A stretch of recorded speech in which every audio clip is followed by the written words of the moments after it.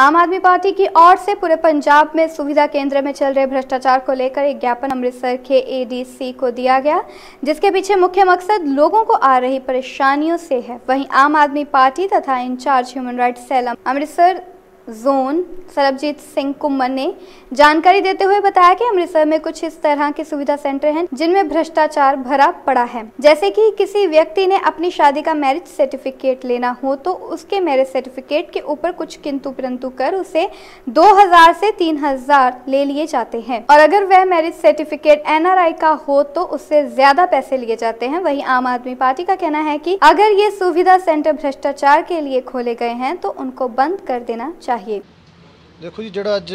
ਮੰਗ ਪੱਤਰ ਦਿੱਤਾ ਗਿਆ, ਉਹਦੇ ਵਿੱਚ ਇਹ ਆ ਕਿ ਜਿਹੜੇ ਸੇਵਾ ਕੇਂਦਰ ਸਰਕਾਰ ਵੱਲੋਂ ਖੋਲੇ ਗਏ ਆ, ਉਹਦੇ ਵਿੱਚ ਹੋ ਕੀ ਰਿਹਾ ਕਿ ਜਿੱਦਾਂ ਕਿਸੇ ਨੇ ਐਗਜ਼ਾਮਪਲ ਸੇਕ ਮੈਂ ਗੱਲ ਲੱਗਾ ਕਰਨ ਕਿ ਮੈਰਿਜ ਸਰਟੀਫਿਕੇਟ ਲੈਣਾ। ਮੈਰਿਜ ਸਰਟੀਫਿਕੇਟ ਦਾ ਇੱਕ ਪ੍ਰੋਸੈਸ ਆ ਕਿ ਸੇਵਾ ਕੇਂਦਰਾਂ ਦੇ ਵਿੱਚ ਇਹਦੀ ਫਾਈਲ ਭਰੀ ਜਾਂਦੀ ਹੈ ਬਕਾਇਦਾ ਤੌਰ ਦੇ ਉੱਤੇ ਇਹਦੀ ਫੀਸ ਲਈ ਜਾਂਦੀ ਹੈ ਕਪਲ ਨੂੰ ਸਾਹਮਣੇ ਖੜਾ ਕਰਕੇ ਸਾਈਨ ਕਰਾਏ ਜਾਂਦੇ ਆ ਤੇ ਫੋਟੋ ਕਲਿੱਕ ਕੀਤੀ ਜਾਂਦੀ ਹੈ ਉਹਦੇ ਬਾਅਦ ਇੱਕ ਰਸੀਦ ਇਸ਼ੂ ਕਰਤੀ ਜਾਂਦੀ ਹੈ ਇਹ ਫਾਈਲ ਜਿਹੜੀ ਆ ਬਾਅਦ ਚੋਂ ਤਹਿਸੀਲਦਾਰ ਸਾਹਿਬ ਕੋਲ ਚਲੀ ਜਾਂਦੀ ਹੈ ਉੱਥੇ ਜਾ ਕੇ ਕੀ ਹੁੰਦਾ ਕਿ ਵੈਸੇ ਤੇ ਉਹਨਾਂ ਦਾ ਕੰਮ ਇਹ ਆ ਕਿ ਫਾਈਲ ਲਿਖ ਕੇ ਸਾਈਨ ਕਰਨ ਤੇ ਮੈਰਿਜ ਸਰਟੀਫਿਕੇਟ ਇਸ਼ੂ ਕਰ ਦੇਣ। ਪਰ ਉੱਥੇ ਹੁੰਦਾ ਕੀ ਆ ਕਿ ਫਾਈਲ ਨੂੰ ਹੋਲਡ ਕਰਤਾ ਜਾਂਦਾ ਕਾਫੀ ਕਾਫੀ ਚਿਰ ਲਈ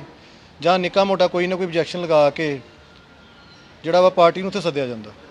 ਤਾਂ ਕਿ ਉਸ ਪਾਰਟੀ ਕੋਲ ਕਿਸੇ ਕੋ 2000 ਕਿਸੇ ਕੋ 25 ਅਲੱਗ-ਅਲੱਗ ਇਹਦੇ ਚ ਹੁੰਦਾ ਕਿ ਵੀ ਪੈਸੇ ਲੈ ਸਕਣ, ਰਿਸ਼ਵਤ ਲੈ ਸਕਣ। ਸੋ ਮੈਰਿਜ ਦੇ ਵਿੱਚ ਵੀ ਨਾ ਕਈ ਤਰ੍ਹਾਂ ਵਾ, ਜਿੱਦਾਂ ਕੋਈ ਐਨ ਆਰ ਆਈ ਨੇ ਰਜਿਸਟਰ ਕਰਾਉਣੀ ਹੈ ਆਪਣੀ ਮੈਰਿਜ ਕੋਈ ਲੋਕਲ ਆ ਜਿੰਨੇ ਕਰਾਉਣੀ ਆ ਕਿਸੇ ਦੀ ਮੈਰਿਜ ਨੂੰ ਟਾਈਮ ਹੋ ਚੁੱਕਿਆ, ਉਹ ਮਤਲਬ ਕਰਾਉਣਾ ਚਾਹੁੰਦਾ ਆਪਣੀ ਮੈਰਿਜ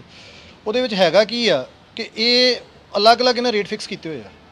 ਸੋ ਸਾਡੀ ਡਿਮਾਂਡ ਇਹ ਆ ਕਿ ਜੇਕਰ ਸੇਵਾ ਕੇਂਦਰ ਖੋਲ੍ਹੇ ਆ, ਤੇ ਸੇਵਾ ਕੇਂਦਰ ਜੇ ਸਰਕਾਰ ਨੇ ਇੱਕ ਪਰਪਸ ਵਾਸਤੇ ਖੋਲ੍ਹੇ ਆ ਕਿ ਪਬਲਿਕ ਨੂੰ ਸਰਵਿਸ ਦਿੱਤੀ ਜਾ ਸਕੇ, ਉਹਨਾਂ ਨੂੰ ਹਰਾਸ ਨਾ ਕੀਤਾ ਜਾਵੇ। ਸੋ ਸਾਡੀ ਡਿਮਾਂਡ ਇਹੋ ਆ